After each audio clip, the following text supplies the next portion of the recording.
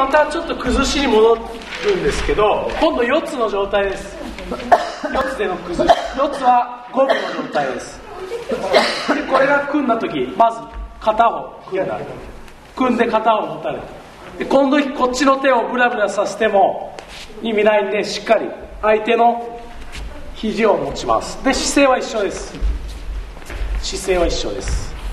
でこの時に相手が首を引っ張って自分の首を押してきて前に出た時にこっちの引き手を利用しながら股間します。もう一回。首を持って四つなんだで相手の力これも自分でこういくんじゃなくて相手の力を感じながら相手の力はどこにあるか